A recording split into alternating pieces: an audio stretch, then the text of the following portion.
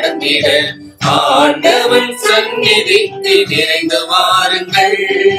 ஆனந்தம் பொங்கிட அதிசயங்கள் நடந்திட. ஆண்டவன் சந்நிதிக்கு விரைந்து வாருங்கள். திருப்பலி பீடத்தில் தேவன் வருகிறார். திருந்திய உள்ளங்களில் அமைதி தருகிறார். திருப்பலி மேடத்தில் தேவன் வருகிறான் திருந்திய உள்ளங்களில் அமைதி தருகிறார். ஆடங்கு பொங்கிட அதிசயங்கள் நடந்திட. ஆண்டவன் சந்நிதிக்கு நிறைந்து வாருங்கள்.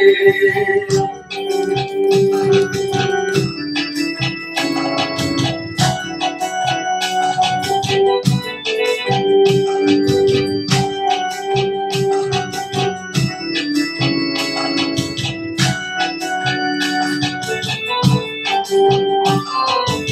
கருமையாம் தீர என்று வாழ்த்து பாடுவோம். பெருமையாம் நிலைக்க அவரில் சங்கமமாகுவோம். கருமையாம் தீர என்று பாட்டு பாடுவோம். பெருமையாம் நிலைக்க அவரில் சங்கமமாகுவோம் அவரில் சங்கமம் வாழ்வில் சந்தோஷம்.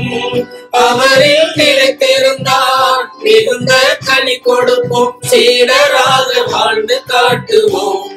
என்னாலுமே ஆனந்த பொங்கிட அதிசயங்கள் நடந்திட ஆண்டவன் சந்நிதிக்கு விரைந்து வாருங்கள்.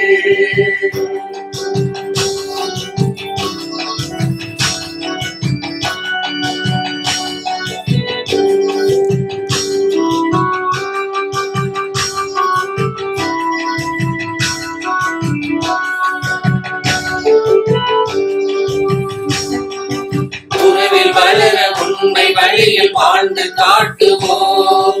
வழிவில் உயர அன்பில் வளர்த்து பணிகள் ஆற்றுவோம். உறவில் வளர உண்மை வழியில் வாழ்ந்து காட்டுவோம். உழைப்பில் உயர அன்பில் வளர்த்து பணிகள் ஆற்றுவோம். உன்படி தொடர்வதா? சாட்சியை மாறுவோம்.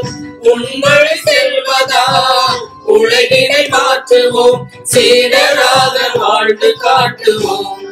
என்னாலுமே ஆனந்த பொங்கிட அதிசயங்கள் நடந்திட ஆண்டவன் சந்நிதிக்கு விரைந்து வாருங்கள். ஆனந்தம் பொங்கிட அதிசயங்கள் நடந்திட ஆண்டவன் சந்நிதிக்கு விரைந்து வாருங்கள். திருப்பலி பீடத்தில் தேவன் வருகிறார். திருந்திய உள்ளங்களில் அமைதி தருகிறார். திருப்பலி பீடத்தில் தேவன் வருகிறார் திருந்திய உள்ளங்களில் அமைதி தருகிறான் ஆனந்த பொங்கிட அதிசயங்கள் நடந்திட. ஆண்டவன் சந்நிதிக்கு விரைந்து வாருங்கள். தந்தை மகன் தூய ஆவியாரின் பெயராலே நம் ஆண்டவராக இயேசு கிறிஸ்துவின் அருளும் கடவுளின் அன்பும் தூய ஆவியாரின் நட்புறவும் உங்கள் அனைவரோடும் என்றும் இருப்பதாக இயேசு கிறிஸ்துவில் பிரியமான சகோதர சகோதரிகளே இன்று ஆண்டின் புதுக்காலம் பத்தொன்பதாம் ஞாயிறை நாம் இன்று சிறப்பிக்கின்றோம். கடல் மீது நடந்த இயேசுவை பார்த்து தானும் நடக்க வேண்டும் என்று ஆசைப்பட்ட புனித பேதுருவுக்கு அத்தகைய ஆற்றலை தருகின்றார். நாம் கூட இயேசுவின் பணிகளை செய்ய அழைக்கப்பட்டிருக்கிறோம் இயேசுவினுடைய மீட்பு பணியிலும் அவருடைய வாழ்விலும் நாம் பங்கு பெற அழைக்கப்பட்டிருக்கிறோம். இயேசுவில் விசுவாசம் கொள்கிறவர்கள் இயேசு செய்த அற்புதங்களையும் செய்ய ஆற்றலை கடவுளை கொடுக்கின்றார். தம்முடைய பணிகளை விட பெரிய காரியங்களையும் செய்யக்கூடிய வாய்ப்பையும் ஆசீர்வாதத்தையும் தர வல்லவராக நம் ஆண்டவர் இயேசு கிறிஸ்து இருக்கிறார். இத்தகைய உணர்வுடன் சிந்தனையுடன் இந்த திருப்பலியில் கலந்து கொள்வோம். திருப்பலியை தகுந்த முறையில் ஒப்புக் கொடுக்க நம் பாவங்களை ஏற்று மன வருந்தி மன்னிப்பு கேட்போம். முக்கியமாக ராயப்பர் பயமுறுத்திய அலைகளை பார்த்து நீரில் மூழ்கியது போல நாம் துன்பங்களையும் துயரங்களையும் நம்மை சுற்றி நடக்கிற எதிர்ப்புகளையும் சூழ்ச்சிகளையும் கண்டு மனம் கலங்கிய நேரங்களுக்காக இயேசுவின் மீது நம்பிக்கையற்ற நிலைக்காக மனவருந்து மன்னிப்பு கேட்போம். எல்லாம் இறைவனிடமும்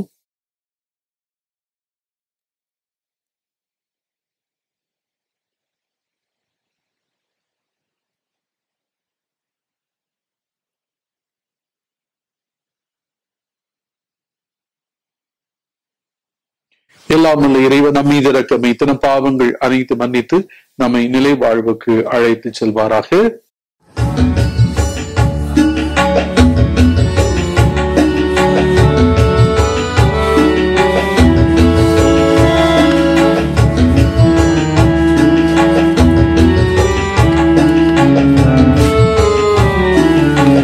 ஆண்டவரே இரக்கமாயிரும்.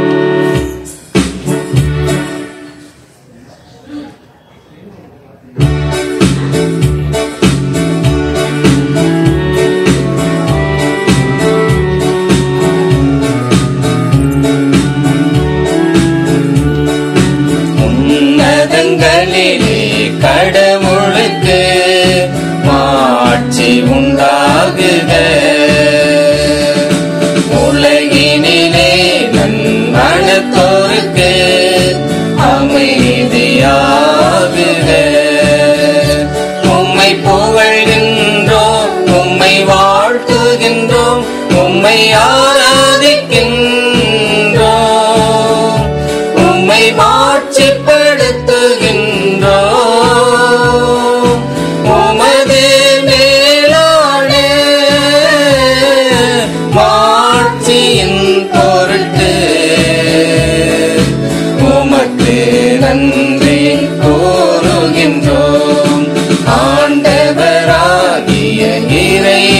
இறைவா வானுலக அரசரே எல்லாம் வல்ல தந்தையாகிய இறைவா.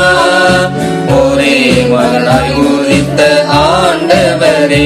இயேசு கிறிஸ்துவே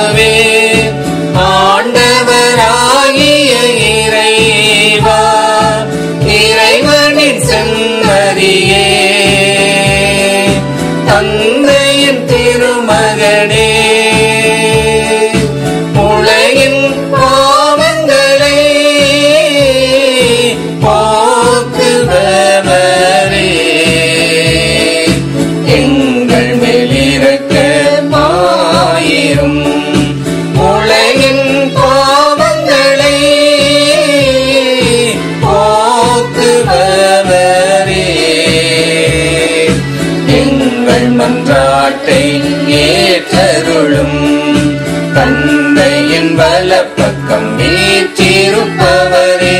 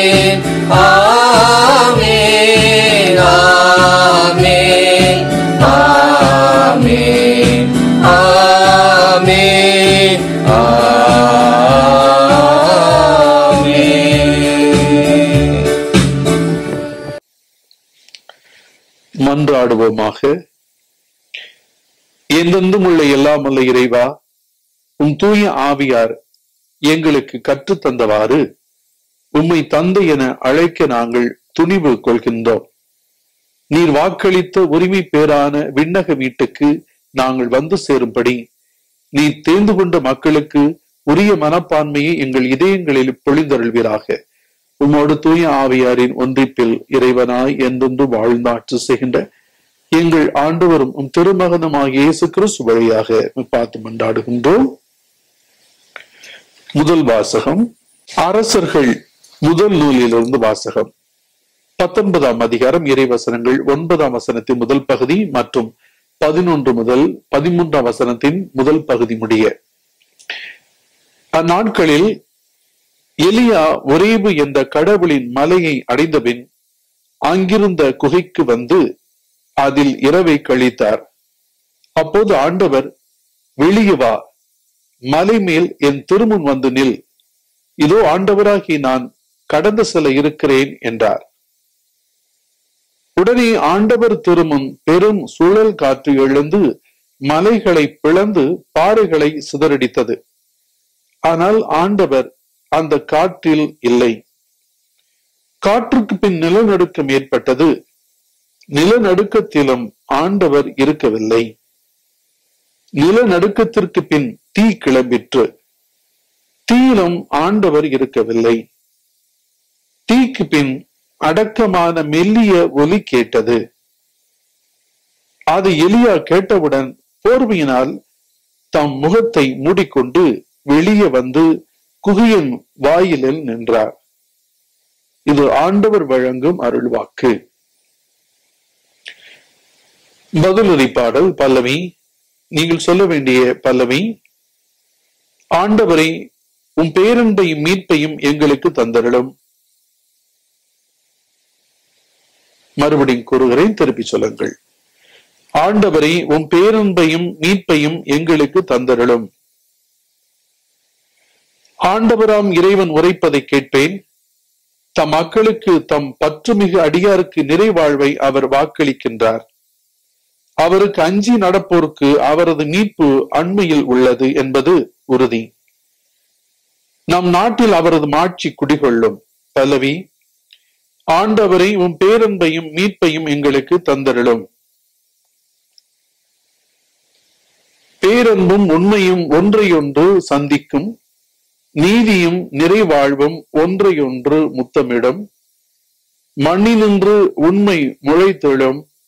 விண்ணினின்று நீதி கீழ் நோக்கும் பல்லவி.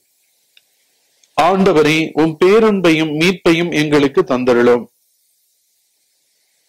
நல்லதையே ஆண்டவர் அருள்வார். நல் விளைவை நம் நாடு நல்கும். நீதி அவர் முன் செல்லும். அவர் தம் அடிச்சுவடுகளுக்கு வழிவகுக்கும் பல்லவி. ஆண்டவரை உன் பேரன்பையும் மீட்பையும் எங்களுக்கு தந்தருளும். இரண்டாம் வாசகம் திருத்துதர் பவுல் ரோமியருக்கு எழுதிய திருமுகத்திலிருந்து வாசகம் ஒன்பதாம் அதிகாரம் ஒன்று முதல் ஐந்து முடிய உள்ள இறை வசனங்கள் சகோதர சகோதரிகளே கிறிஸ்துவை சார்ந்த நான் சொல்வது உண்மை பொய்யல்ல. தூய ஆவியால் தூண்டப்படும் என் மனச்சான்றே நான் சொல்வதற்கு சாட்சி. உள்ளத்தில் எனக்கு பெரும் துயரமும் இடைவிடாத வேதனையும் உண்டு. என் சொந்த இனத்தைச் சேர்ந்த என் சகோதரர் சகோதரிகளுக்கு மீட்பு கிடைப்பதற்காக நான் கிறிஸ்துவை பிரிந்து சாபத்துக்கு உள்ளாக கூட விரும்பியிருப்பேன். அவர்கள்தாம் இஸ்ரேல் மக்கள். அவர்களையே கடவுள் தம் மக்களாக ஏற்றுக்கொண்டார். அவர்கள் நடுவில்தான் கடவுள் தம் ஆட்சியை விளங்கச் செய்தார். உடன்படிக்கைகளும் திருச்சட்டமும் திருவழிபாடும் வாக்குறுதிகளும் அவர்களிடமே ஒப்படைக்கப்பட்டன. குல முதல்வர்களின் வழி வந்தவர்கள் அவர்கள். மனிதர் என்னும் முறையில் கிறிஸ்துவும் அவர்களிடமிருந்தே தோன்றினார். இவரை எல்லாவற்றுக்கும் மேலான கடவுள். என்றென்றும் போற்றுதற்குரியவர். ஆமேன். இது ஆண்டவர் வழங்கும் அருள்வாக்கு.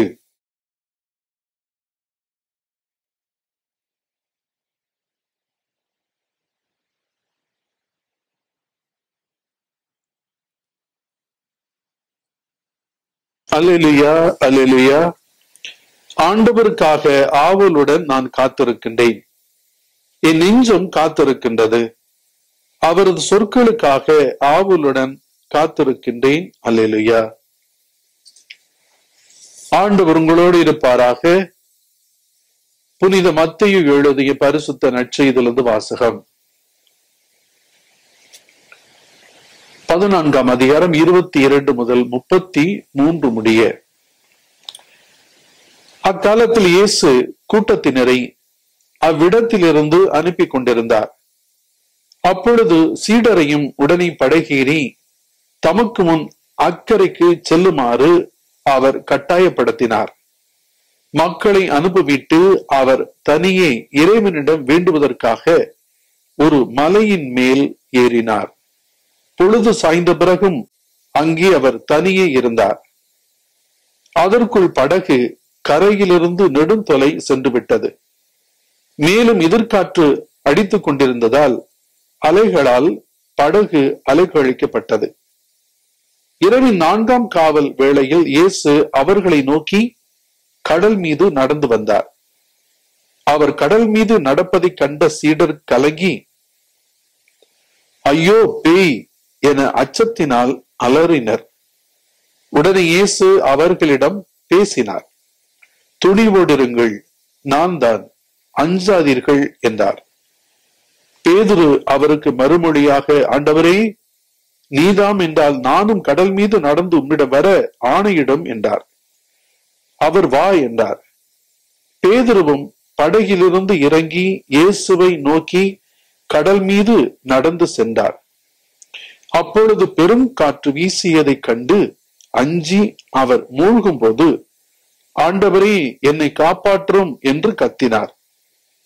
இயேசு உடனே தம் கையை நீட்டி அவரை பிடித்து நம்பிக்கை குன்றியவனே ஏன் ஐயம் கொண்டாய்? என்றார் அவர்கள் படகில் ஏறியதும் காற்று அடங்கியது. படகில் இருந்தோர் இயேசுவை பணிந்து உண்மையாகவே நீர் இறைமகன் என்றனர். இது வாழ்வு தரும் கிறிஸ்துவின் அச்செய்தி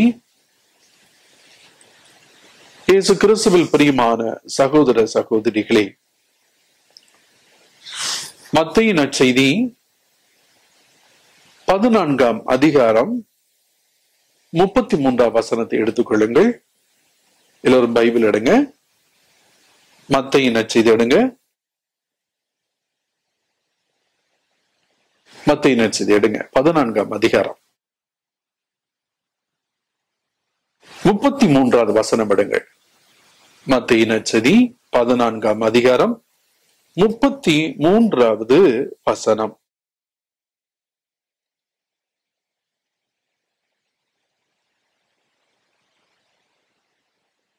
படகில் இருந்தோர் இயேசுவை பணிந்து உண்மையாகவே நீர் இறைமகன் என்றனர். மறுபடியும் எல்லாரும் படிக்கலாங்களா? முப்பத்தி ரெண்டாம் வசனத்துல படிங்க முப்பத்தி ரெண்டு முப்பத்தி மூணு படிக்கலாமா எல்லாரும் படிங்க. அவர்கள் படகில் ஏறியதும் காற்று அடங்கியது. படகில் இருந்தோர் இயேசுவை பணிந்து உண்மையாகவே நீர் இறைமகன் என்றனர். முப்பத்தி மூணாம் வசனம் உண்மையாகவே படிங்க உண்மையாகவே நீர் இறைமகன் என்றனர். நான் ஒவ்வொரு முறை இப்படி சொல்லுகிற பொழுது நீங்கள் பைபிள் எடுத்துக்கங்க. ஞாயிற்றுக்கிழமைகளிலே நீங்கள் பைபிள் கையில வச்சுக்கங்க பூசை பார்க்கும்போது. இப்ப பைபிள் எல்லாம் நீங்க பூசை பார்த்தீங்கன்னா இப்போ பைபிள் எடுங்களேன். ஒரு தேர்ட்டி செகண்ட்ஸ் கொடுக்குறேன் பைபிள் எடுங்க. ஒரு பெரிய அனுபவம் கிடைக்கும். ஒரு புதிய அனுபவம் கிடைக்கும். நீங்க எடுங்க பைபிள் எடுங்க. எடுத்துட்டீங்களா? செல்போன்ல சாஃப்ட் காப்பி பைபிள் பார்க்க கூடாது நீங்க ஹார்ட் பைபிள் இப்படி ஒரு பைபிள் இருந்தா அதை எடுத்துக்கோங்க. மத்திய நற்செய்தி எடுத்துக்கோங்க. முப்பத்தி ரெண்டாம் வசனத்தும் முப்பத்தி மூணாம் வசனம். அதுல நம்பர் போடல. படகில் இருந்தோர் அதுல இருந்து படிக்கலாங்களா மறுபடியும்? படிக்கலாம். படிங்க எல்லாரும் ஒன்று என்னையோட சேர்ந்து எல்லாரும் சத்தமா படிங்க. மனசுக்குள்ள படிக்காதீங்க. சத்தமா நீங்க படிக்கிறது உங்க காதல கேட்கணும். படிக்கலாங்களா? படகில் இருந்தோர் இயேசுவை பணிந்து உண்மையாகவே நீர் இறைமகன் என்றனர். இப்ப எல்லாரும் கண்ணை மூடுங்க. நாம அந்த படகில் இருப்பது போல நினைத்துக் கொள்வோம். கண்ணு மூடுங்க. உண்மையாகவே நீர் இறைமகன் என்று இயேசுவை பார்த்து சொல்லலாம். உண்மையாகவே நீர் இறைமகன் என்று நான் நம்புகிறேன். சொல்லுங்க சொல்லுவோம். மனசுக்குள்ளே சொல்லுங்க. இயேசுவை பார்த்து உண்மையாகவே நீர் இறைமகன் என்று சொல்லுங்க.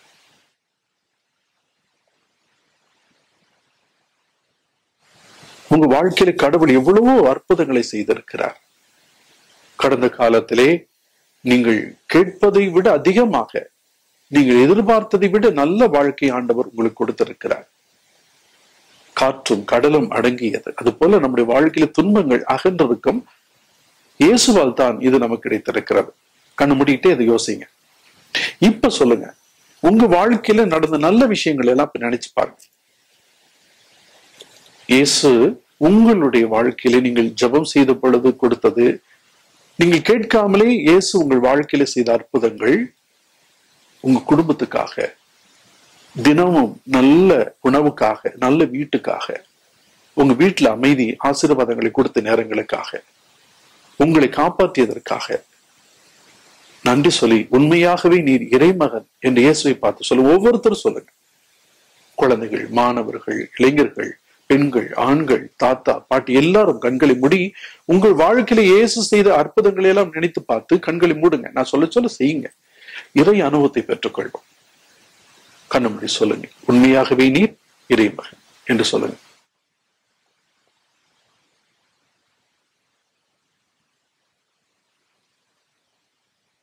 கண்ணு மூடிட்டு அந்த பாடலை பாடுங்க. என்னோட சேர்ந்து நீங்க பாடுங்க. சத்தமா பாடணும். ஓகே பாடலாமா? இன்பத்திலும் துன்பத்திலும் நல் தந்தையாய் நீருப்பாய் கண்ணையர காத்திருக்கும் நல்லன்னையாய் அருகிருப்பா அன்பு என்னும் மாமுதத்தினை நான் அருந்திட என கழிப்பாய் உன்னின்று பிரியாமல் நீ என்றும் அழைத்திருப்பாய் நீ என்றும் அழைத்திருப்பாய் உன் புகழை பாடுவது என் வாழ்வின் இன்பமையா? உன்னருளை போற்றுவது என் வாழ்வின் செல்வமையா?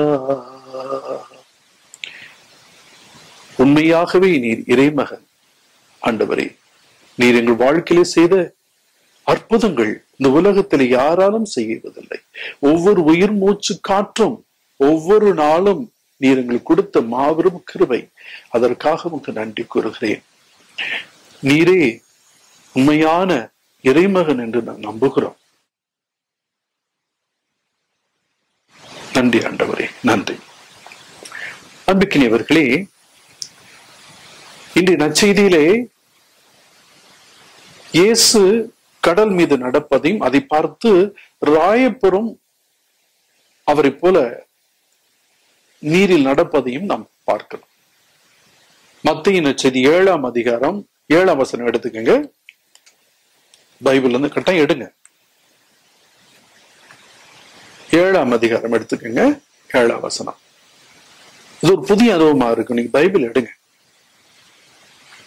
எடுத்துக்கங்க நீங்க. இனிமேல் ஆளுக்கு ஒரு பைபிள் வச்சுக்கோங்க.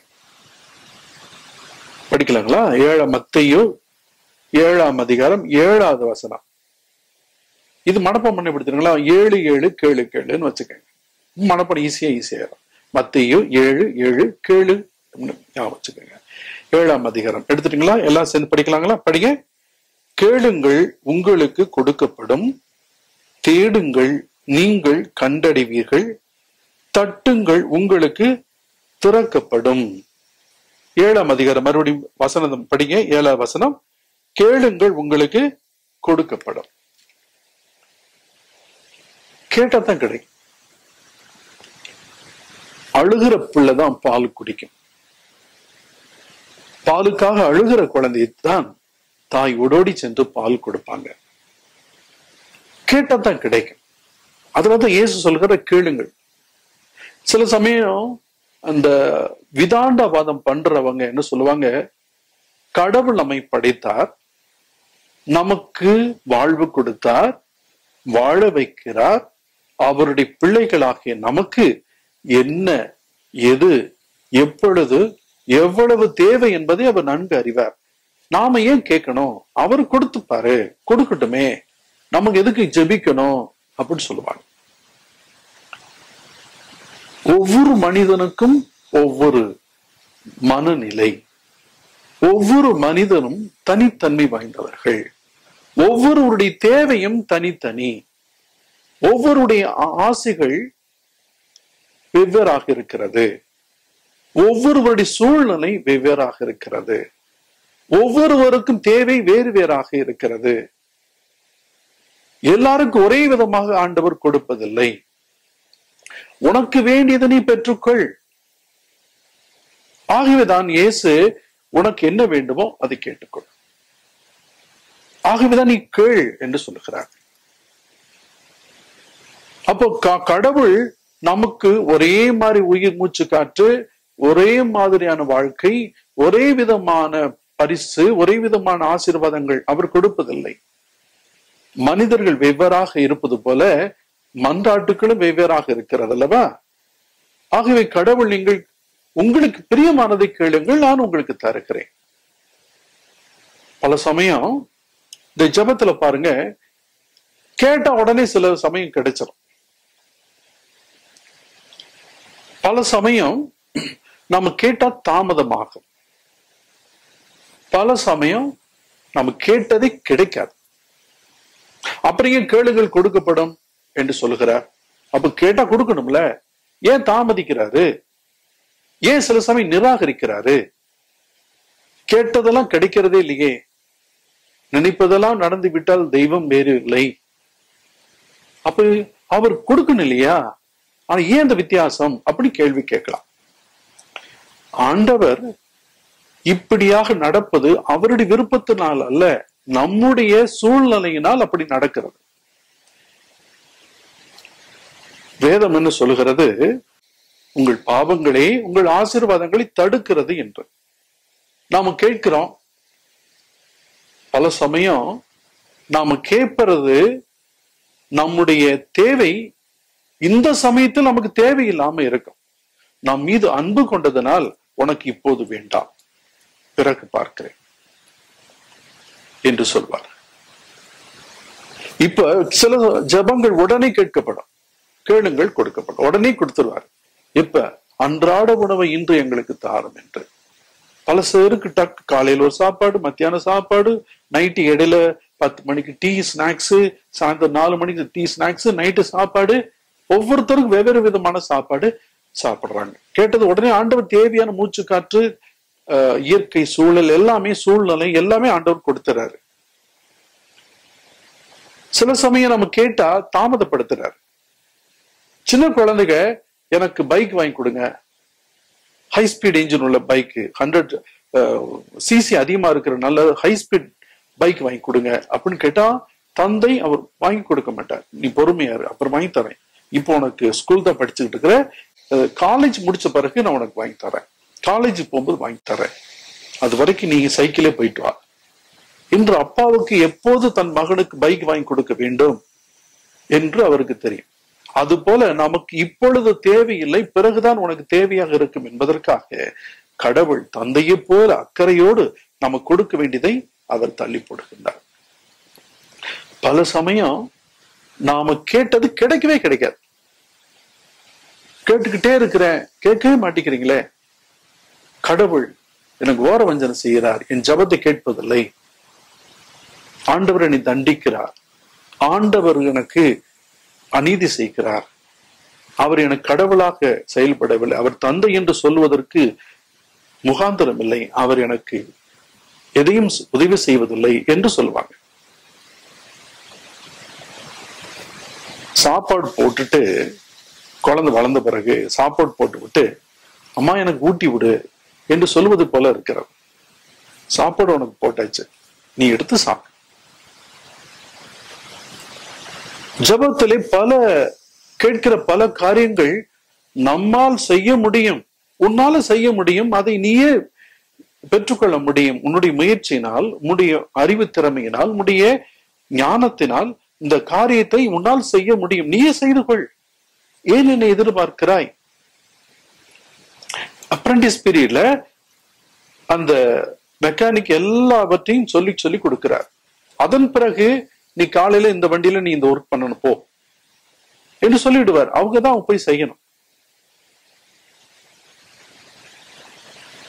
கூட இருந்து செஞ்சு கொடுக்க மாட்டாங்க தொழில் கற்றுக் கொடுத்தாச்சு. நீ தனியா சொந்தமாக ஒரு ஒர்க் ஷாப் வச்சு நீ பிழைத்துக்கொள் என்று சொல்லுகிறார். அதுதான் ஆண்டவர் கேட்டதும் சிலது டக்குன்னு உடனே கொடுத்துருவார் சிலது தாமதப்படுத்துவார் நம் தகுதியை சூழ்நிலை அனுசரித்து அது நமக்கு குறித்த காலத்திலே அவர் கொடுப்பார்.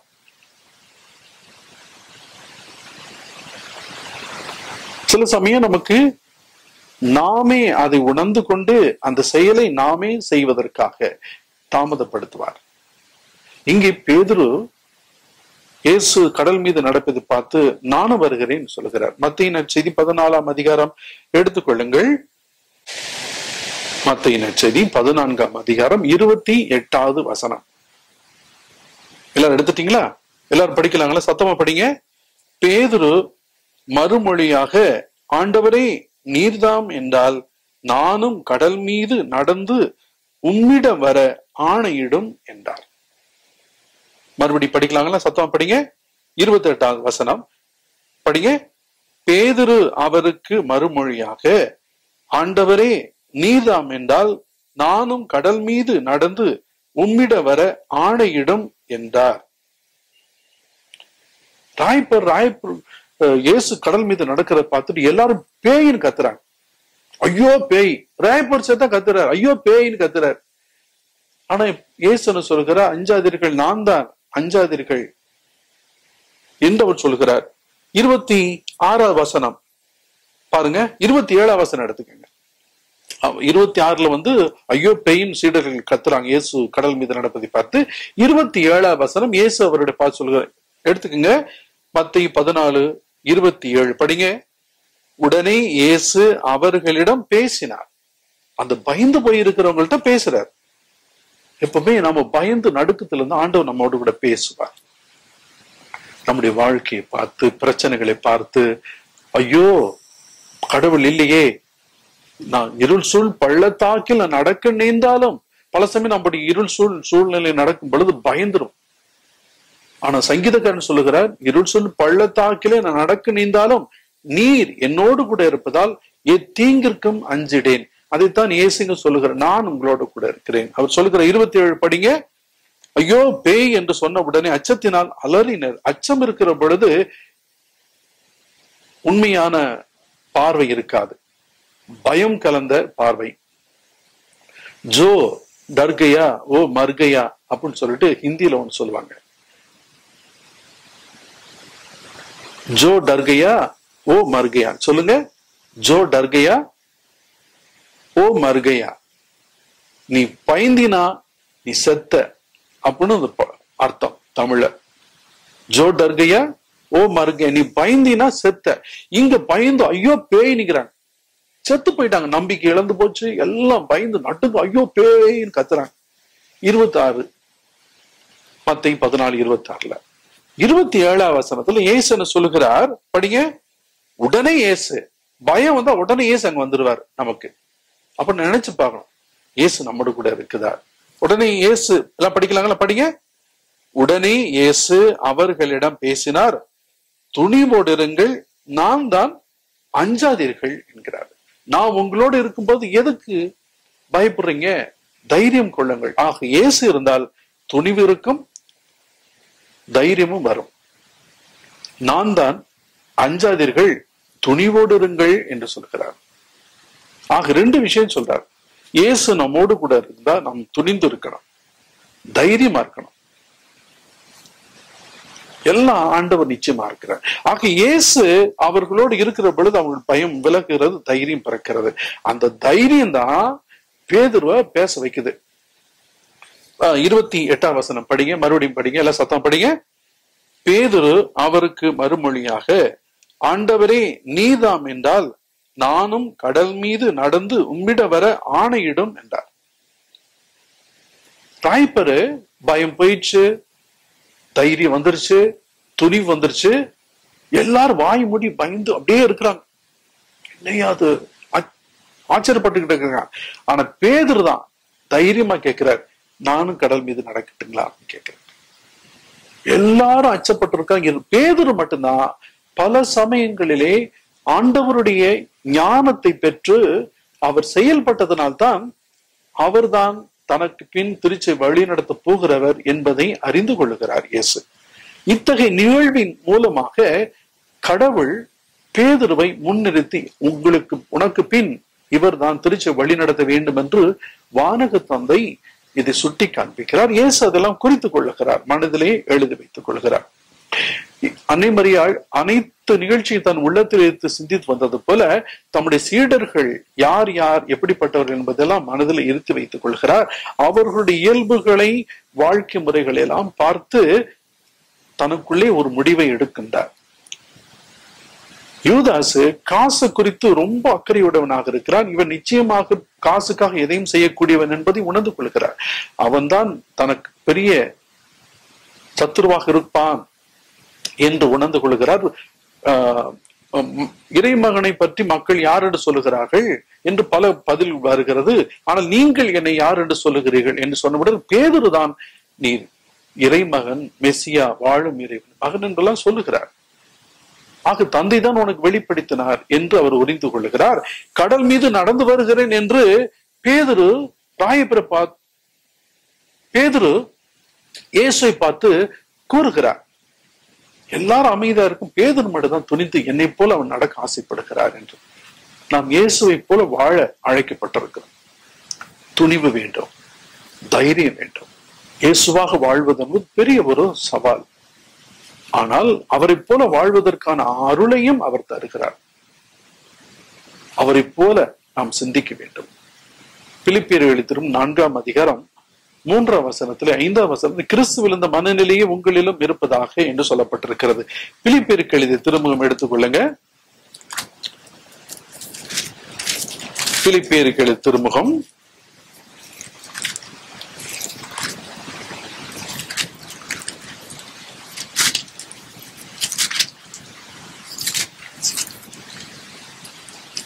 எடுத்துக்கங்க. எபேசியருக்கு அடுத்த புத்தகம். பிலிப்பியருக்கு எழுத திரும்பவும் இரண்டாம் அதிகாரம் எடுத்துக்கொள்ளுங்க பிலிப்பியருக்கு எழுத திரும்பவும் இரண்டாம் அதிகாரம் ஐந்தாவது வசனத்தை எடுத்துக்கொள்ளுங்க ஐந்தாவது வசனம். புதிய ஏற்பாடுல இருக்கும். எபேசியருக்கு எழுத திருமுகத்துக்கு பின்னாடி வரும். கொலசேருக்கு எழுதிய திருமுகத்துக்கு முன்னாடி. எபேசியர் கொலசியருக்கு இடையில பிலிப்பியர் இருக்கும். ரெண்டாம் அதிகாரம் ஐந்தாவது வசனம் எடுத்துக்கங்க. படிங்க. எல்லாரும் சேர்ந்து படிக்கலாங்களா? படிங்க. அஞ்சாவது வசனம். கிறிஸ்து இயேசு கொண்டிருந்த மனநிலையே உங்களிலும் இருக்கட்டும். இயேசுவின் மனநிலை தந்தைக்கு கீழ்ப்படிந்து எல்லோரும் உதவி செய்ய வேண்டும் என்கிற அந்த உண்மையின் வழி நடத்தல் நம்மிலும் இருக்க வேண்டும். கடவுளுக்காக வாழ வேண்டும். கிறிஸ்துவுக்காக நாம் வாழ வேண்டும். இயேசு எவ்வாறு கடவுளுக்காக அனைத்தையும் இழந்து அவருக்காகவே அனைத்தையும் அர்ப்பணித்து அவருக்காகவே பணி செய்தது போல நாமும் அவரை போல இருக்க வேண்டும். ஆ அந்த கிறிஸ்துவின் மனநிலை தான் பேதருவிடம் இருக்கிறது. மற்ற எல்லா சீடர்களை விட பேதர் மட்டும்தான் அவரிடம் பார்த்து கேட்கிறார். மறுபடியும் மத்திய நான்காம் பதினாலாம் அதிகாரத்துக்கு வாங்க. மத்திய நச்சதி பதினான்காம் அதிகாரம் வாங்க. இருபத்தி எட்டாம் வசனம் மறுபடியும் படிங்க. இல்ல சத்தமா படிங்க. மத்தி பதினாலு இருபத்தி எட்டாம் வசனம் பேதுரு அவருக்கு மறுமொழியாக ஆண்டவரே நீதாம் என்றால் நானும் கடல் மீது நடந்து உம்மிடம் வர ஆணையிடும் என்றார். ஏசுன்னு சொல்லுகிறார்? இருபத்தி ஒன்பது வசனம் வா அப்படிங்கிறார். இயேசு அவர் சொன்ன உடனே கடல் மீது குதிக்கிறார். அப்படி நிக்கிறார் தண்ணியில பாருங்க எவ்வளவு உரிய விஷயம். உடனே அவர் இயேசு வான்னு சொன்ன உடனே ஆக்ஷன்ல இறங்குறாரு. இயேசு சொல்லிட்டார் நான் செய்யறேன் இன்று கடலை பத்தி அவர் கொண்டிருந்த எண்ணங்கள் எல்லாம் இல்ல. ஏசு சொன்னதை அப்படியே நம்புறார் இறங்குறார் தண்ணியில நான் நிக்கிறார். தண்ணி மேல நிக்கிறார். அது வரைக்கும் தண்ணிக்குள்ள குதிச்சு விளையாண்டு நட இது வரைக்கும் நடந்ததே இல்லை. யாரும் நடந்ததில்லை இவரும் நடந்ததில்லை. ஆனா அவர் தண்ணியில் நிக்கிறார். எவ்வளவு சந்தோஷம். எல்லா சீடர்களும் பார்த்து ஆச்சரியப்படுறாங்க. ஆஹா ராயப்பர் முந்திக்கிட்டாரே நம்ம கேட்டிருக்கலாமே அப்பெல்லாம் நடு மனச மண்டையில ஓடி இருக்கும் ராயப்பர் நடந்து போயிட்டே இருக்கிற இயேசு பார்த்துட்டு போறாரு அப்படியே ஓடுறாரு. ஓடின உடனே பழைய குருடி கதவை தரடி போல அவர் தண்ணீரை பாக்குறாரு அலை இப்படி இப்படி ஆடுது. அது வரைக்கும் அந்த அந்த அலையிலே இப்படி நடந்து போறார். மேடு வெள்ளமா இருக்கு நடந்து போறார். ஐயோ தண்ணி ஐயோ பெரிய அலை வரணும் டப்புன்னு உள்ள போயிறார். அவருடைய கவனம் இயேசுவிலிருந்து பார்வை இயேசுவிலிருந்து அலைகள் மீது போகிற தண்ணிக்குள்ள போகிறாரு முப்பதாம் வசனம். படிங்க. பதினாலு முப்பது. மத்தையும் பதினாலு முப்பதாம் வசனம். உடனே பாருங்க. அப்பொழுது பெருங்காற்று வீசியதை கண்டு அஞ்சி அவர் மூழ்கும் போது ஆண்டவரே என்னை காப்பாற்றும் என்று கத்தினார். உடனே இயேசுவை பார்த்து ஆண்டவரே என்னை காப்பாற்றும் என்று கத்தினார். அலைகளை பார்த்த உடனே அலை அவருக்குள்ளே இழுக்கிறது.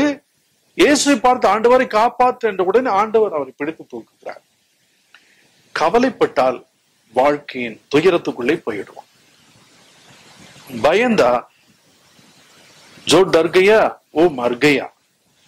ஒரு அச்சத்தின பெருங்காற்று வீசி பார்த்து அஞ்சின உடனே அவர் தண்ணிக்குள்ளே இழுத்து விடுகிறார். எது நம்மை பயமுறுத்துமோ அது நம்மை அழிக்க நினைக்கும். நமக்கு யாரெல்லாம் பயமுறுத்துகிறார்களோ யாரை பார்த்து எதெல்லாம் பார்த்து பயப்படுகிறோமோ அது நம்மை சாகடிக்கும். நம்முடைய நம்பிக்கை உடைக்கும். நம்முடைய சந்தோஷத்தை உடைக்கும். நம்முடைய முயற்சிகளை உடைக்கும். அதனுடைய நோக்கமே அதுதான். நீங்க பாருங்க ஒரு வீடு சந்தோஷமா இருக்கக்கூடாது அப்படின்னு நினைக்கிறவங்க என்ன பண்ணுவாங்க? இந்த மந்திர பண்றாங்க பாரு மாயம் அதெல்லாம் பண்றாங்க பாருங்க. மந்திரவாதிகளா. அவங்க ஒண்ணுமே சக்தி அவங்கள்ட்ட இல்ல. அம்மனுகளுடைய செயல்களுக்கு சக்தி கொடுக்கிறது நம்முடைய பயம்தான். நம்முடைய மனசுதான் அதுக்கு சக்தி கொடுக்குது. பிரச்சனை சின்னதுதான். ஆனா அதை பார்த்து பயந்து யோசிச்சு நடுங்குறோம் பாருங்க. இந்த பயமும் கவலையும் தான் அதுக்கு மிகப்பெரிய ஆற்றலை கொடுக்கிறது. நீங்க பாருங்க ஒரு வீட்டுல சந்தோஷமா இருக்கிறாங்க தைரியமா பேசிட்டு இருக்கிறாங்க. அவங்க வீட்டு முன்னாடி ஒரு எலுமிச்சம்பழத்தை போட்டு விட்டுருங்க நைட்ல. காலையில எழுந்து பார்த்தா பயம் வந்துடும் ரெண்டாவது நாள் மூணாவது நாள் நாலாவது நாள் அஞ்சாவது நாள் தொடர்ந்து அவங்க வீட்டுல எலுமிச்சம்பழம் விழுந்து கிடக்குது. ரோட்ல போறவன் ஏதோ தூக்கி எரிஞ்சு போறான். கொஞ்சம் கொஞ்சமா பயம் அதிகமாகுது. அவங்களுடைய கவனம் கோயில நல்லா வீட்டுல ஜெபம் பண்ணுவாங்க குடும்ப ஜெபம் பண்றவங்க என்னதான் விளக்கு வந்து அடுத்து தூக்கி போட்டு போயிட்டே இருப்பாங்க. விசுவாசம் உள்ளவங்க. ஆனா அறகுறை விசுவாசம் ஜெபம் செய்வாங்க பயந்துகிட்டு இருப்பாங்க. கடவுளை நம்புவாங்க பேயும் ப- பார்த்து பயப்படுவாங்க. எல்லாமே இதுல பாதி அதுல பாதி எல்லாம் பயந்துகிட்டு இருக்காங்க. கூழு காசு நீசி காசு நல்ல தைரியமா இருக்கு. ஏசு ரச்சகன் சொல்லுவாங்க பிசாசு வந்துருமோ? ஐயோ பில்லி சொல்லி வச்சுட்டாங்களோ? அப்படின்னு பயப்படுறாங்க பாருங்க. அவங்களுக்கு உண்மையான நம்பிக்கை இருக்காது. இவர் ஒரு சின்ன எலுமிச்சவங்களும் தொடர்ந்து ஒரு பத்து தடவை வீட்டுல கிடைச்சுன்னா அவங்க நம்பிக்கை உடைஞ்சு போயிடும் அந்த நம்பிக்கை உடைக்கிறது அவன் கிடையாது. அவங்க அவங்க அந்த எலுமிச்சம்பளத்துல யோசிச்சு யோசிச்சு யோசிச்சு ராத்திரி பகலா மத்தவங்ககிட்ட பேசி பயமுறுத்தி நினைச்சு என்னமோ செய்வனம் பண்றாங்க என் குடும்பத்துக்கு என்னமோ வரப்போகுது என்னமோ வரப்போகுது. கரண்ட் கட் ஆச்சுன்னா ஐயோ பத்தியா? இந்த மாதிரி மந்திரம் போட்டுட்டானுங்க அதனாலதான் கிடைக்குது. இப்படி அந்த அந்த எலுமிச்சம்பளுக்கு சக்தியே கிடையாது. அது பயப்பட அளவுக்கு எத்தனை நாள் பயப்படுகிறோமோ எவ்வளவு நேரம் யோசிச்சு பயப்படுகிறோமோ அதுதான் அவருக்கு சக்தி கொடுக்கும். இது எது நம்மை பயமுறுத்துகிறதோ எதை நம்மை பயமுறுத்துகிறதோ அது நம்மை சிதைக்கும். நம்மை உடைக்கும். நம் வாழ்வை முடமாக்கும். முயற்சி உடைந்து போகும். இது பார்த்து பயந்த பேதுரு உடனே இயேசுவை பார்க்கிறார். தண்ணிக்குள்ள போறாரு. இந்த எதை பார்த்து பயந்தாரோ அது டப்புன்னு பிடிச்சல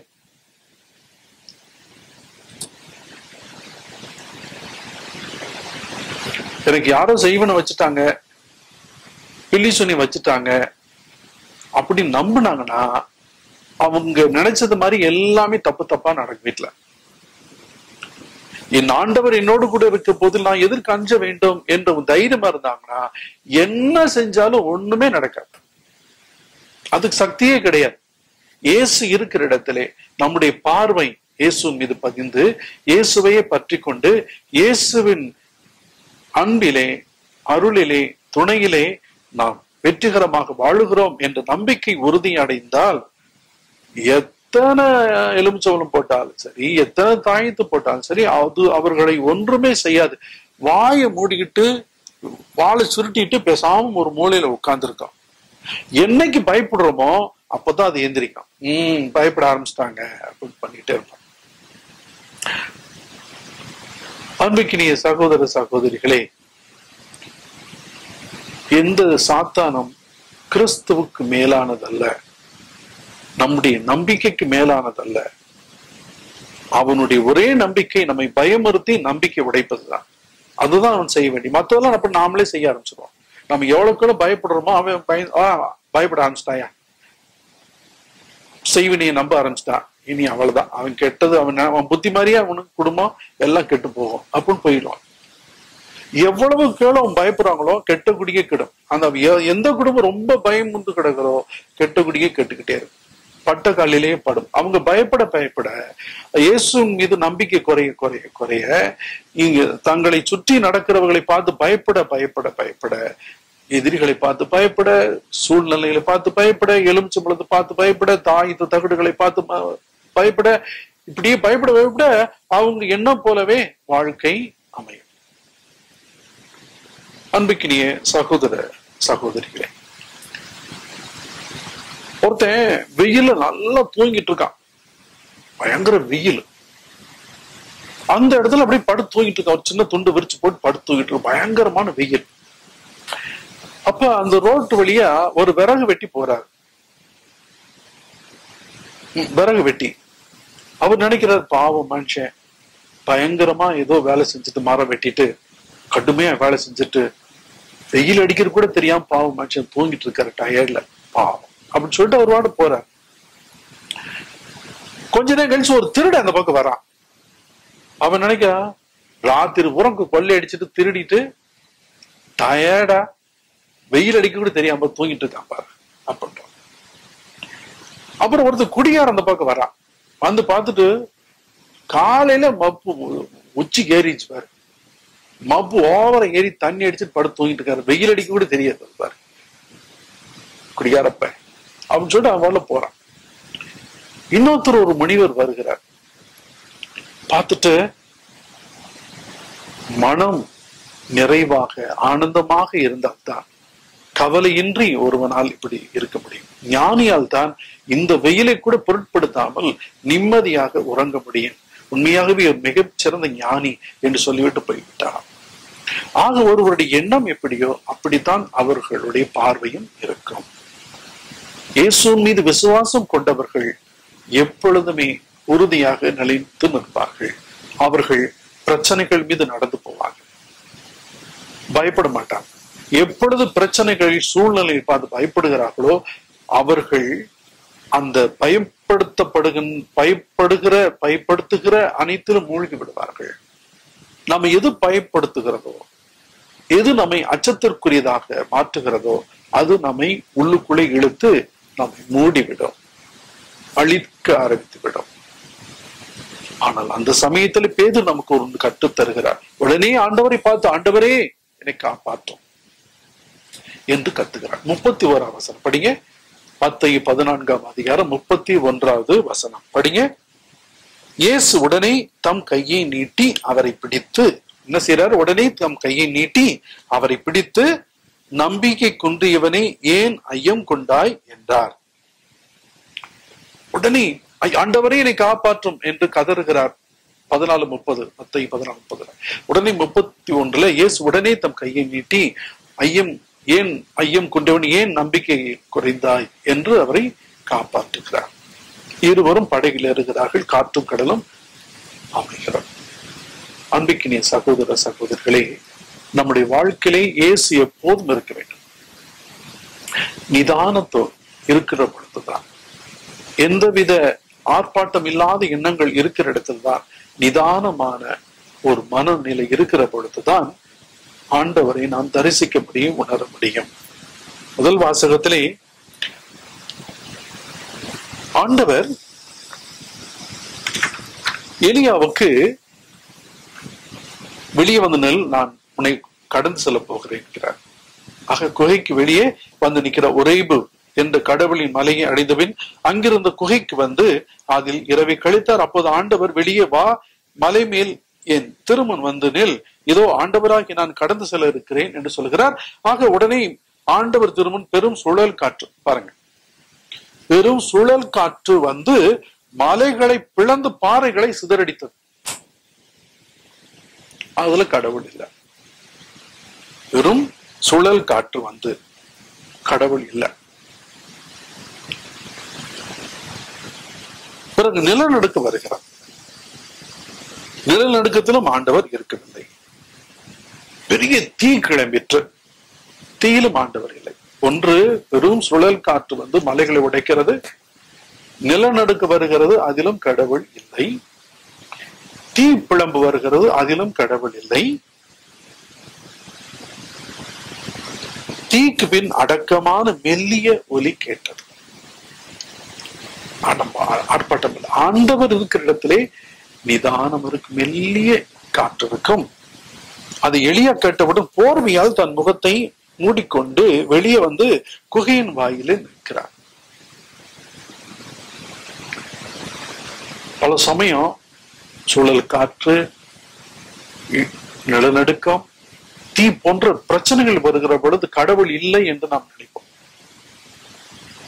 நிச்சயமா கடவுளை உணர முடியாது. நமக்குள்ளே சுழல் காற்று நிலநடுக்கம் தீ போன்ற வெறி எரிச்சல் இருந்தா கடவுளை நாம் காண முடியாது.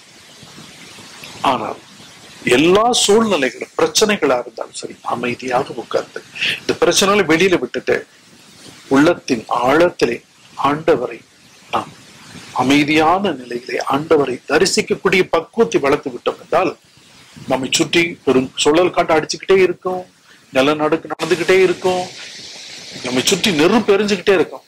ஆனா அமைதியாக நிற்க ஆண்டவர் நம்மோடு கூட இருந்தார்.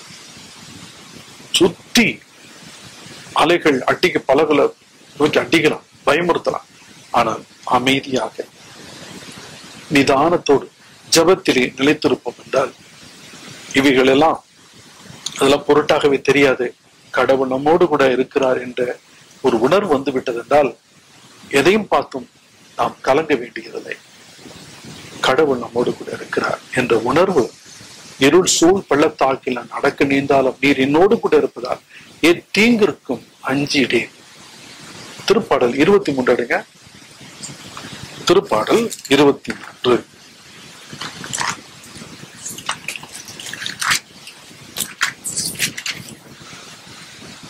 முதல் வசனம் படிங்க.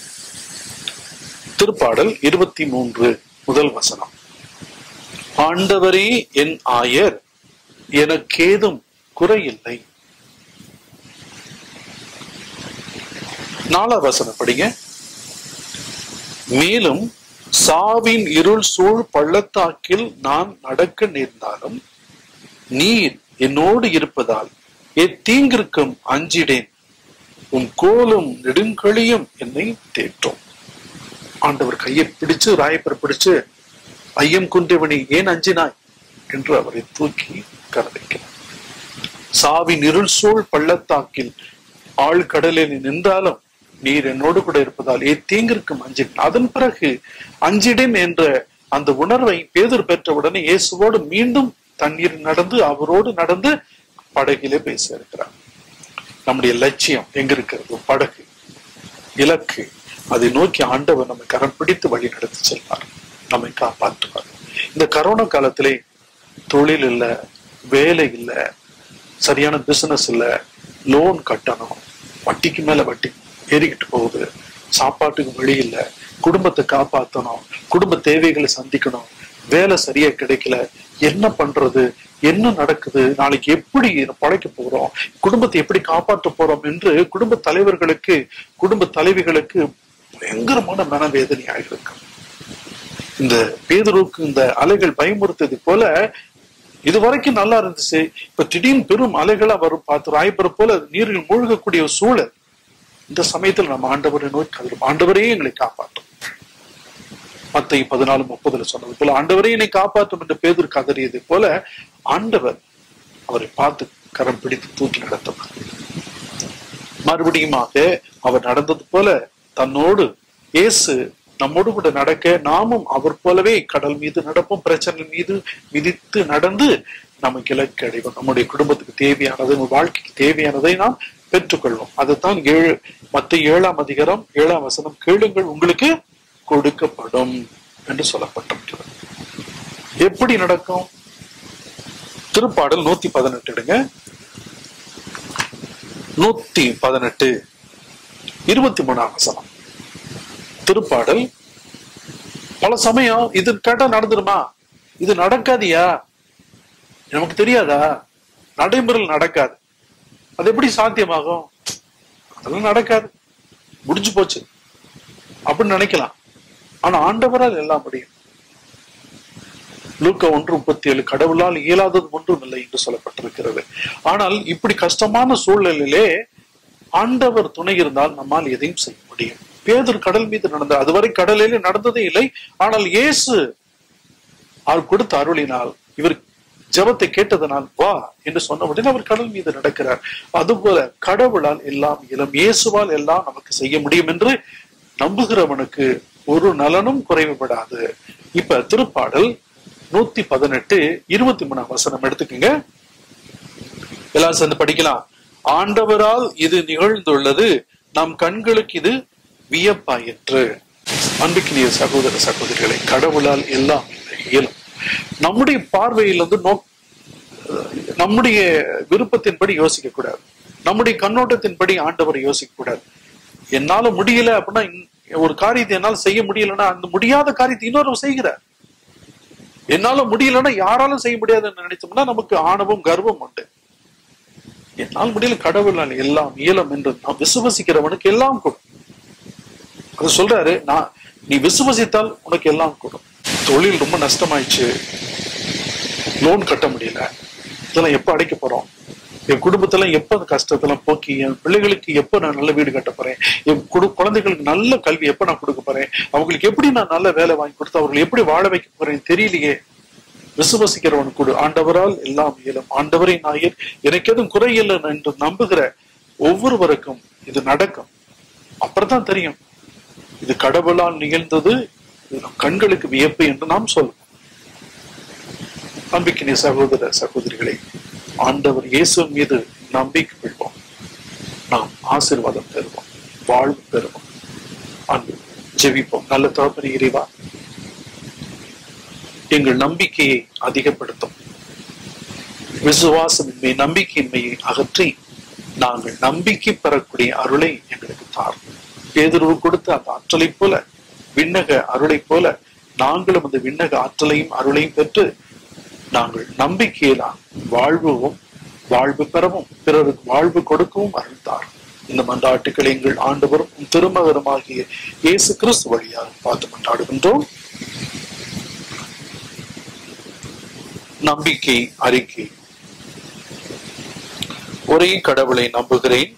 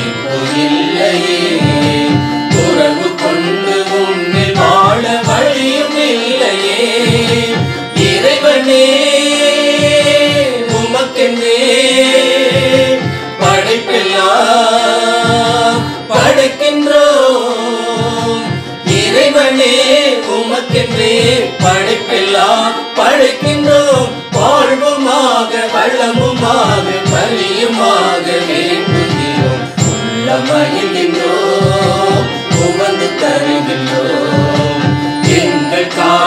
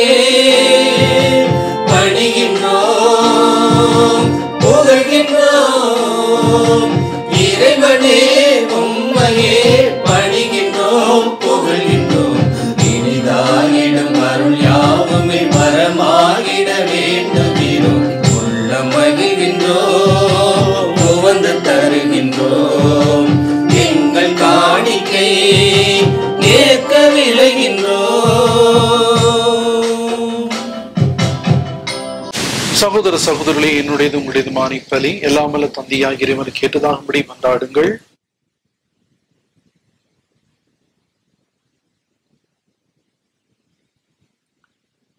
ஆண்டவரை உமது திரு அவையின் காணிக்கைகளை மகிழ்வுடன் ஏற்றருளும்.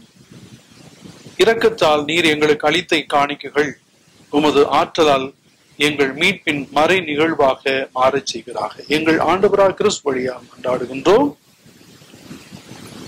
ஆண்டவர் உங்களோடு இருப்பாராக. இதயங்களை மேலே எழுப்புங்கள். நாம் இறைவனாகி ஆண்டவருக்கு நன்றி கூறுவோம்.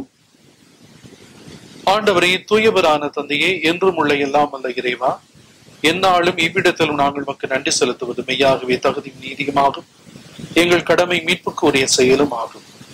ஏனெனில் பாவ பழியால் வெகு தொலைவில் அகன்றிருந்தோம் பிள்ளைகளை உன் திருமகனின் இரத்தத்தாலும் தூய ஆவியாரின் வல்லமையாலும் உம்மோடு மீண்டும் ஒன்றிணைக்க திருவுளமானேன் இவ்வாறு மக்கள் மூவரு கடவுளின் ஒன்றிப்பால் ஒருங்கிணைக்கப்பட்டு கிறிஸ்துவின் உடலும் தூய ஆவியாரின் கோவிலுமான திரு அவையாக திகழச் செய்தீர். இதனால் பல்வகையில் வெளிப்படும் உமது ஞானத்தை புகழச் செய்தீர். ஆகவே வானதூதர் திரளோடு ஒன்று சேர்ந்து நாங்கள் புகழ்ந்தேத்தி மகிழ்ச்சியுடன் அறிக்கையிட்டு சொல்லுவதாவது. தூயவர் தூயவர் தூயவர். மான்படைகளின் கனவுளம் ஆண்டவர். மின்னகமும் மன்னகமும் உமது மாட்சியால் நிறைந்துள்ளன. உன்னதங்களிலே ஓசன்னா. உன்னதங்களிலே ஓசன்னா. நாள் வருகிறவர். ஆசி பெற்றவர். உன்னதங்களிலே ஓசன்னா உன்னதங்களிலே ஓசன்னா ஆண்டவரே நீ மெய்யாகவே தூயவர் தூய்மை அனைத்துக்கு ஊற்று ஆகவே இப்படி ஆவியை பொழுது காணிக்கைகளை தூய்மைப்படுத்த வேண்டுகிறோம். இவ்வாறு எங்கள் ஆண்டவர் இயேசு கிறிஸ்துவின்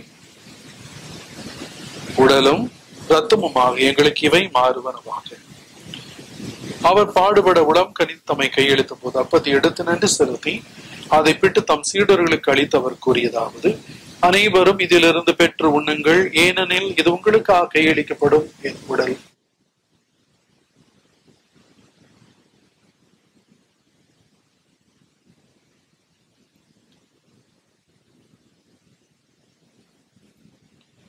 அவ்வளவு இரவு விருந்தை அருந்தி இவன் கிண்ணத்தையும் எடுத்து மீண்டும் நன்றி கூறி தம் சீடர்களுக்கு அளித்து அவர் கூறியதாவது அனைவரும் இதிலிருந்து பெற்று பருகுங்கள். ஏனெனில் இது புதிய நிலையான உடன்படிக்கைக்குரிய என் ரத்தத்தின் கிண்ணம். இது பாவ மன்னிப்புக்கென்று உங்களுக்காம் பலருக்காம் சிந்தப்படும் இதை என் நினைவாக செய்யுங்கள்.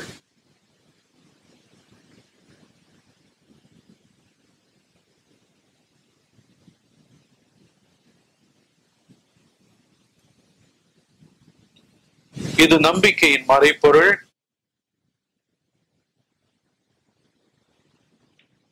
ஆகவே ஆண்டவரே நாங்கள் கிறிஸ்துவின் இறப்பினை மெய்ப்பினை நினைவு கூர்ந்து வாழ்வு தரும் அப்பத்தை மீப்பழிக்கும் கிண்ணத்தை முகப்பு கொடுக்கின்றோம். உம் திருமணம் நின்றும் கூழையும் பெரிய தகுந்தவர்களை நாங்கள் ஏற்றுக்கொண்டீர். எனவே மிக்க நன்றி செலுத்துகிறோம்.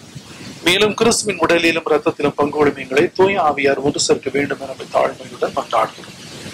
ஆண்டவரை உலகெங்கு பரவி இருக்கும் துறவியை நினைவு கொண்டிருளும் எங்கள் திருத்தந்தை பிரான்சிஸ் எங்கள் ஆய தாமஸ் அக்வைனாஸ் ஏனைய ஆயர்கள் இப்படி மறைமாவட்ட ஆயர்களுக்காக கொண்டாடுங்கள்.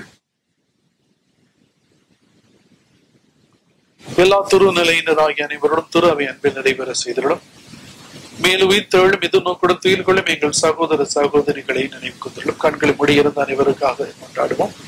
சிறப்பாக உத்தரிக்கிற நிலை ஆன்மாக்கள் யாரும் நினையத ஆன்மாக்களுக்கு அமர்ந்தாடும்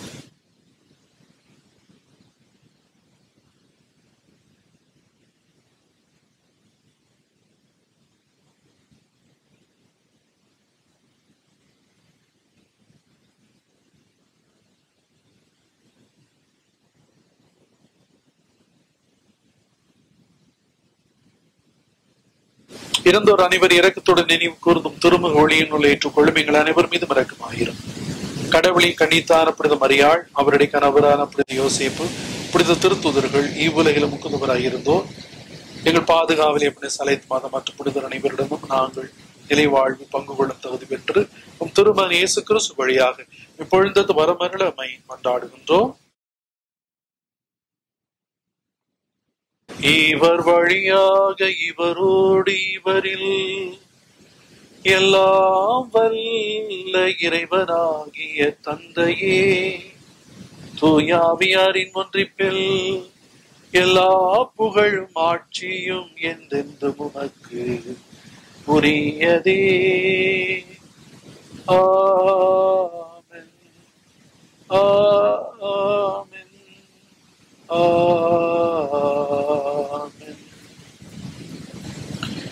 மீட்பறி கட்டளையால் கற்பிக்கப்பட்டு தேவ படிப்பினியால் பயிற்சி பெற்ற நாம் அனைவரும் மகிழ்ந்து ஜெபிப்போம். விண்ணுலகில் இருக்கிற எங்கள் தந்தையே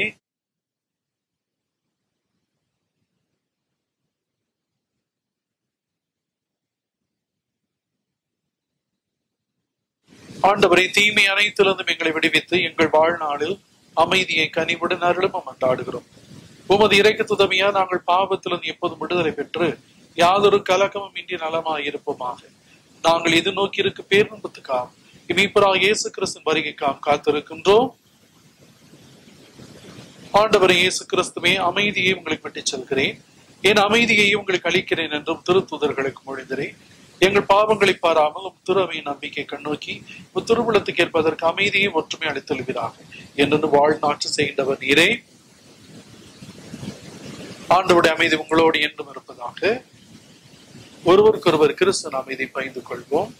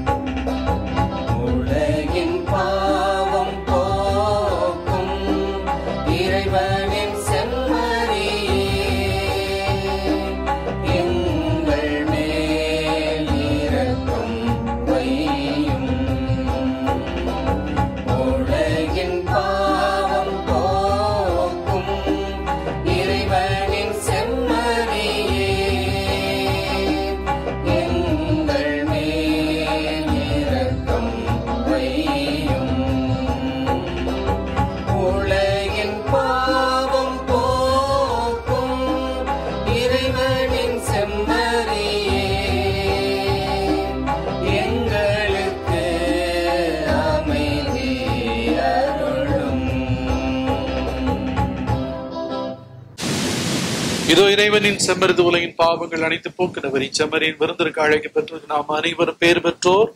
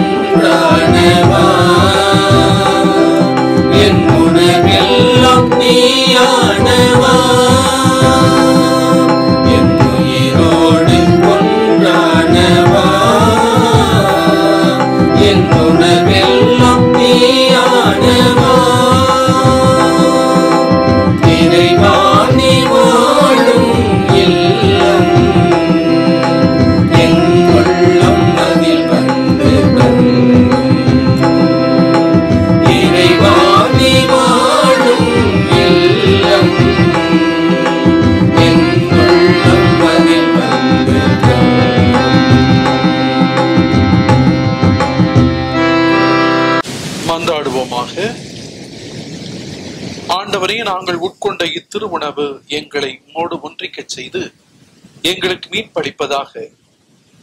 அது எங்களை உமது உண்மையின் வழியில் உறுதிப்படுத்துவதாக. எங்கள் ஆண்டவராக கிறிஸ்து வழியாக கொண்டாடுகின்றோம். ஆண்டவர் உங்களோடு இருப்பாராக. எல்லாமல்ல இறைவன் தந்தை மகன் தூயாமியார் உங்கள் அனைவரையும் ஆசிர்வத்து காத்திருப்பாராக. சென்று பாருங்கள் திருப்பதி நிறைவேறிற்று அச்சிட சிலுவை அடையாளத்தினாலும் சத்துக்கிடந்த சித்தரிடம் எங்கள் சர்வேசரார் தந்தை மகன் தூய் ஆவியார் பெயராலே பிரைசுலார் ஹலெலுயா இயேசுவே ஆண்டவர் மரியே வாழ்க. அருள் நிறைந்த மரியே வாழ்க. ஆண்டவர் உடனே பெண்களுக்குள் ஆசிர்வதிக்கப்பட்டவர். இறைபடி திருவயிற்றின் கனியாகிய இயேசுவும் ஆசீர்வதிக்கப்பட்டவரே.